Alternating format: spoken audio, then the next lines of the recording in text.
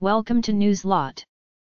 No one who had a part in US Capitol violence is above law, Apple CEO. Apple CEO Tim Cook, in an interview with CBS this morning, said that everyone who had a part in the storming of the US Capitol needs to be held accountable. I think no one is above the law, Cook added. Further, he said that last week's incident was not something that the country should just seek to move on from. Thank you for watching Newslot. Goodbye.